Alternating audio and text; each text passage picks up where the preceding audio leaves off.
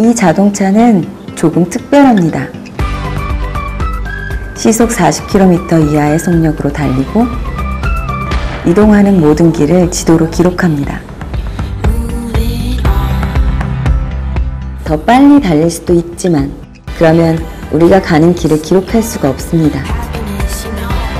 과정을 기억할 수가 없습니다.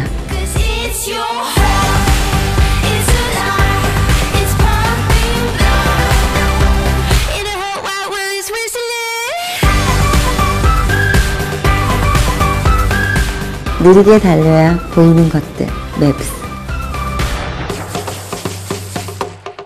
Delicious TV. Olive.